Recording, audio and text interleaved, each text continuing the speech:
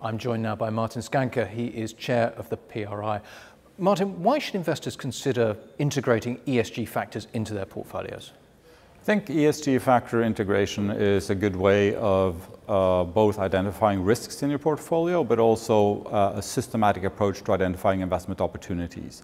Uh, one important framework now, of course, is the Sustainable Development Goals, because the Sustainable Development Goals is a broad agenda for transforming our societies into a sustainable future.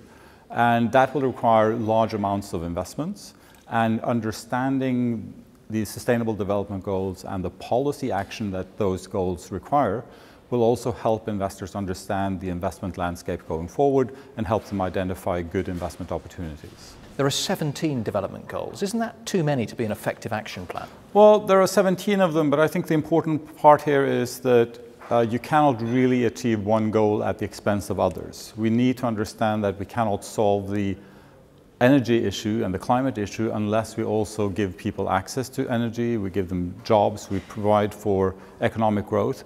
So uh, I don't. I think that we need to have that full picture of understanding that all of these goals are actually linked together.